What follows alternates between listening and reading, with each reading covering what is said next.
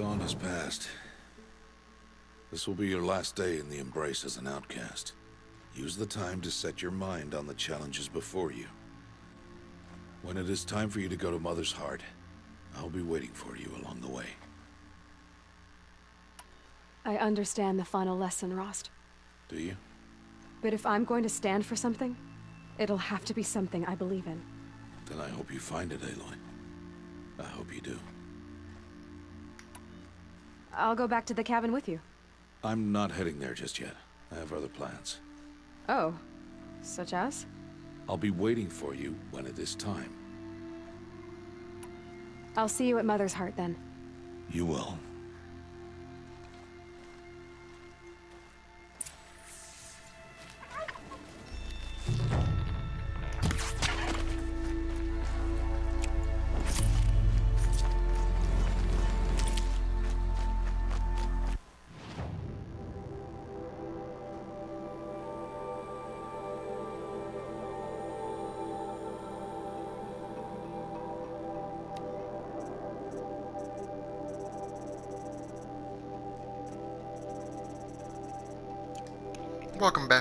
Episode.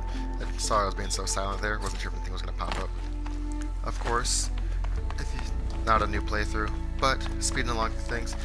We just talked to Rost, and now we are heading on through for our destiny.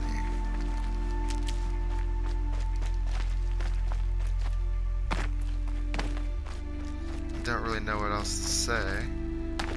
Besides, if you're enjoying the playthrough very much, please say something in section. Low and quiet does it.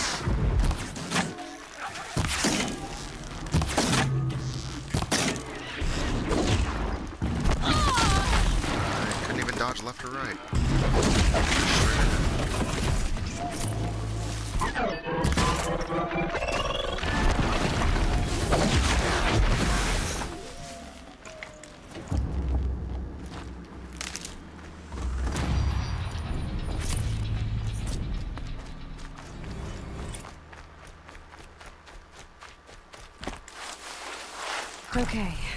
You're okay.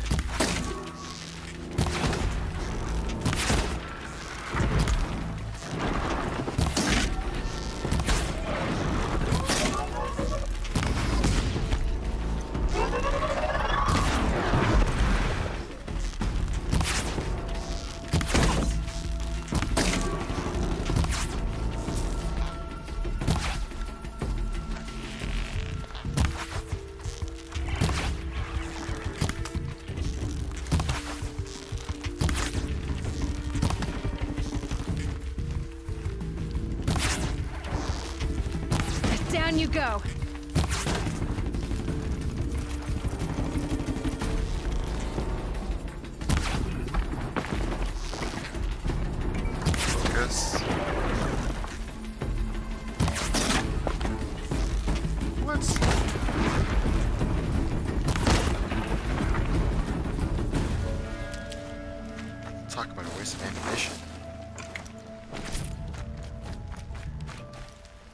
no finesse in that at all.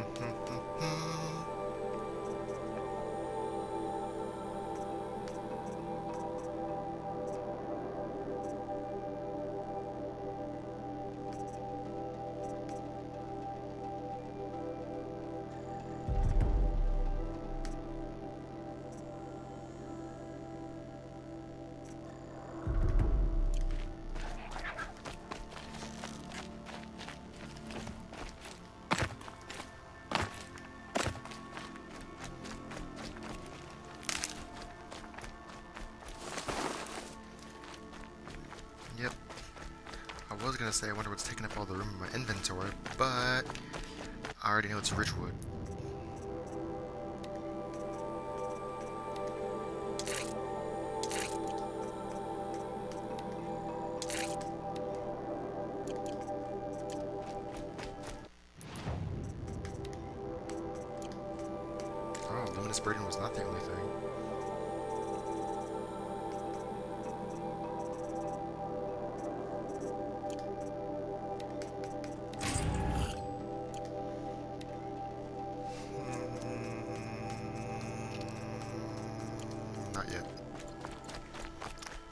Space in my inventory yet.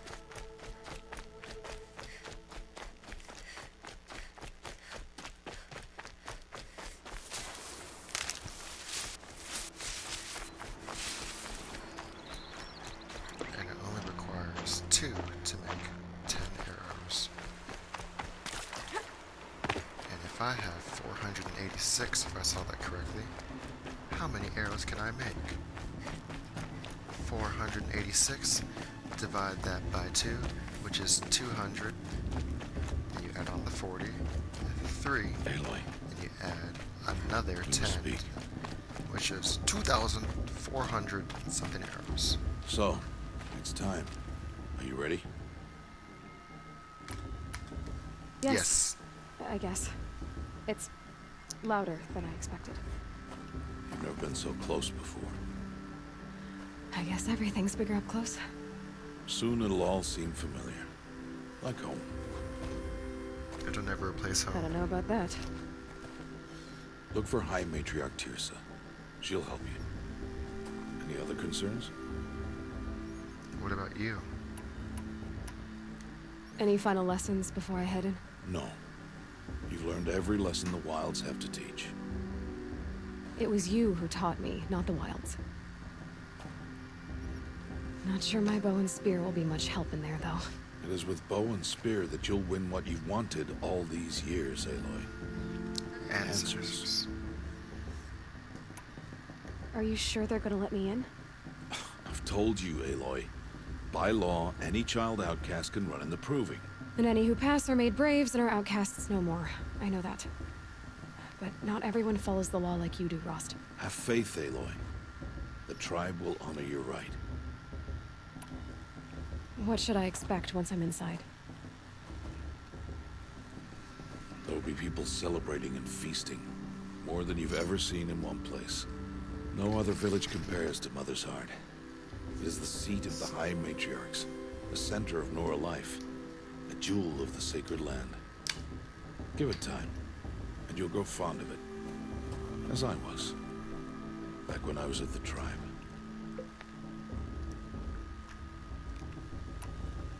I'm ready to do this. See you back home in a few days? You will not find me there, Aloy. Here. Take this to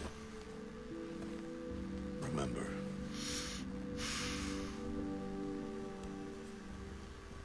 Why are you talking like we'll never see each other again? No. No! You should be with the tribe. And I will always be an outcast. But I told you, I have that figured out. I'll come to you in secret. I'll be the one breaking the law, not you. You don't even have to talk to me. This attachment to me will only hold you back. It's my wish that you embrace the tribe. You've lived in isolation long enough. Until now, I didn't. For your sake, I must go where you will never find me. This... This is goodbye.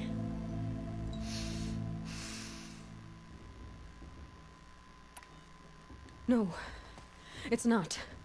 You taught me how to track. Wherever you go, I can follow. Not this time. This time, This time is no different. and every time.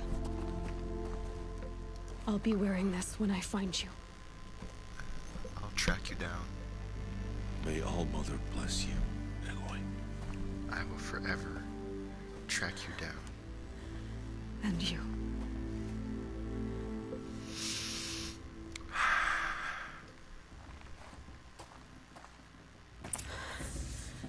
I have to let him go. For now. First, the proving. After that, I'll see where his trail leads.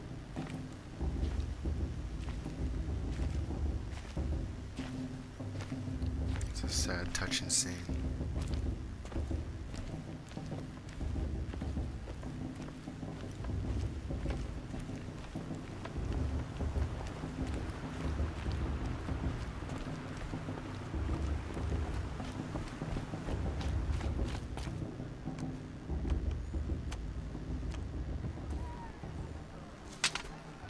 You will turn back, outcast. Or bleed. Your choice. Make way! Make way! Braves, stand aside. She is welcome here. Mother's heart is open to you, child. Come. I assure you, most Nora aren't so rude as those idiots. You're Teersa? Who else would I be? Come on now. I've been waiting for this day a long time. I've always liked you You too, have? sir, as a character. yes. But for the moment, I must leave you. I have other outsiders to keep safe tonight. You what? Envoys from another tribe, the Carja. Come to observe the proving, and oh, how the Nora hate the Carja. Carja. But that's my problem. We will talk later. In the meantime, enjoy the festival. Oh, down the path to the right, you'll find an old friend who can't wait to see you. But I don't know anyone here. Try telling him that. Uh, We will talk later. May the goddess protect. What is going on? So I'm gonna zoom through all the town, get everything that I need. I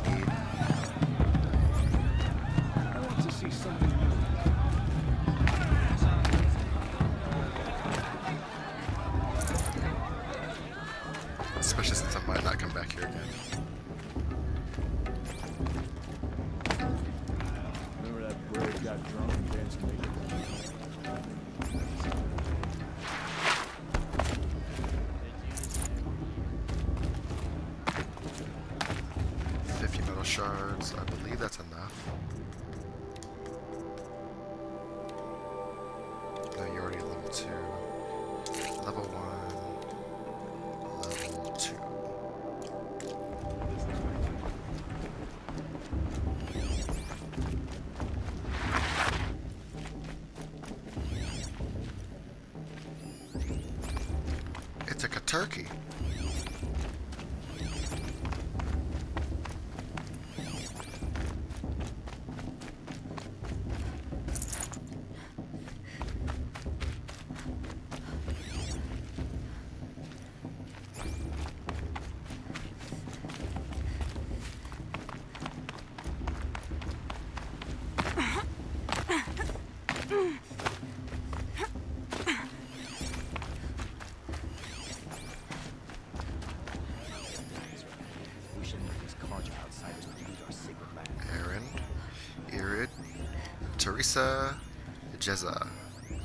Karst.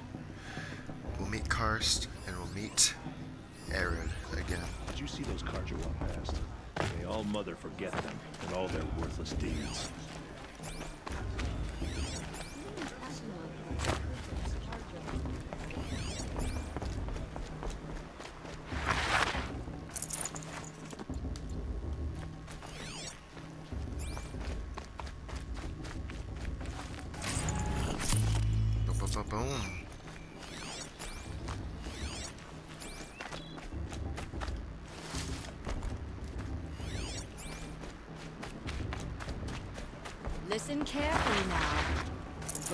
Have to tell this when I'm gone.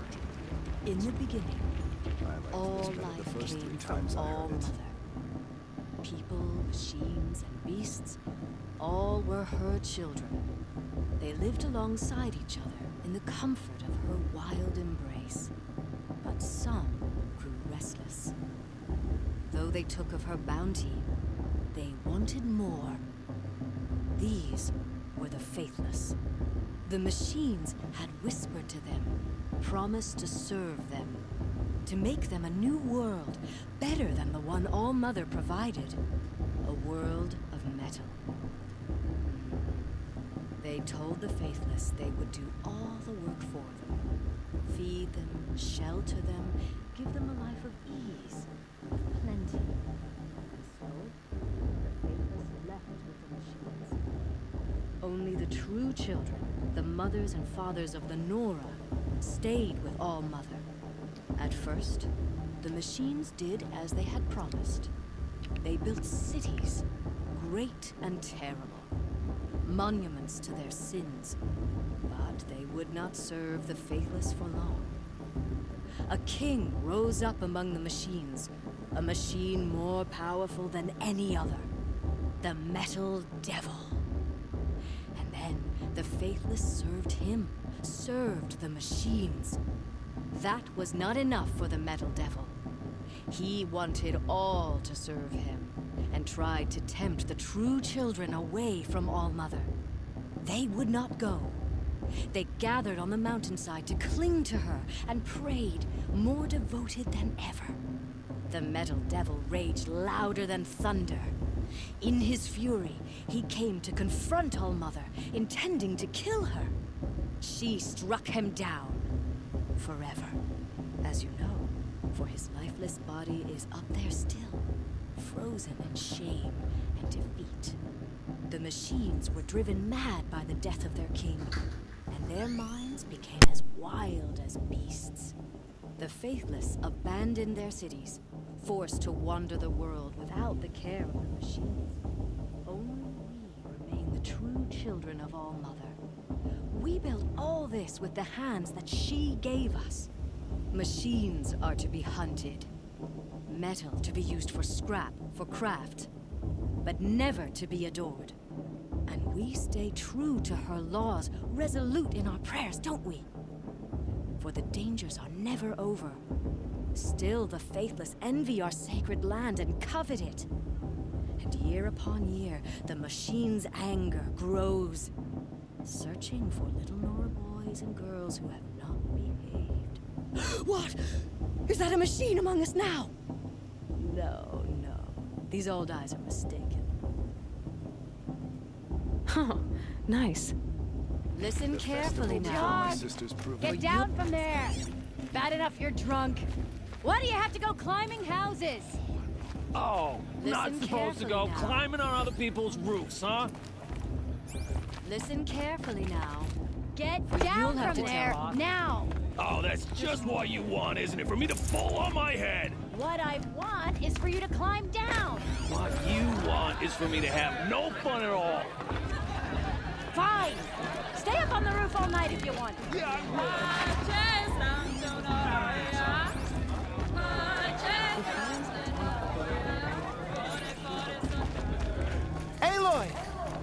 It's you, isn't it?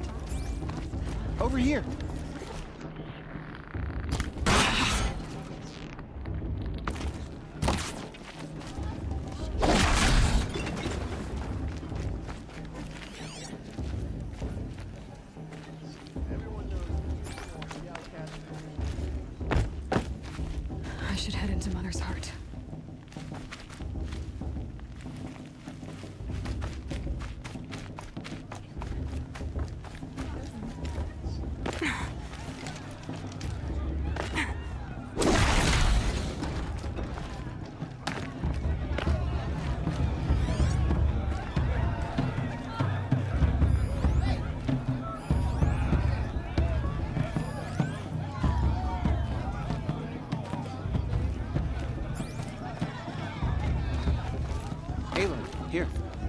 I have something for you. It is Aloy, isn't it? I'm remembering your name correctly? Are you the old friend Teersa told me about? I don't know you. I see you don't recognize me. Well, it was a long time ago. Teb is my name. You were half my size when you saved me from a herd of machines. I remember. You tried to thank me. I never forgot that day. All these years, I hope to see you again, if you came to run in the Proving. As you can see, I didn't turn out to be much of a hunter. I served the tribe as a stitcher instead, a maker of garments and armor. In preparation for this day, I've made an outfit for you. I hope you like it. What's it going to cost? Cost? Nothing. Consider it the thanks I tried to give years ago. Long overdue.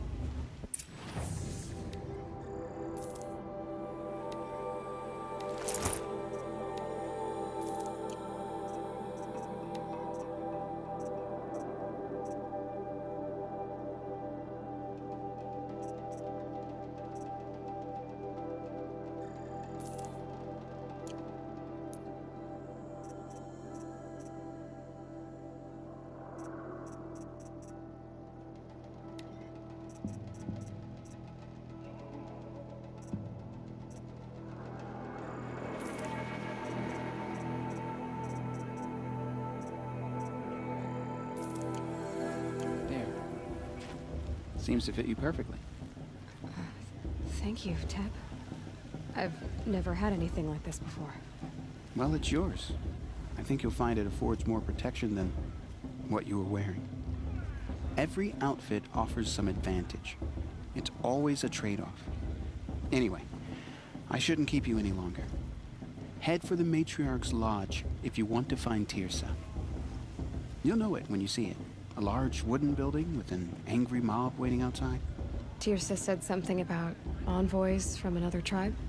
Yes, that's what the mob's angry about. Carja visiting our sacred land for the first time in years. I'd expect to see some tomatoes fly, maybe rocks. Hopefully not spears. In any case, be ready to duck. Stop drinking.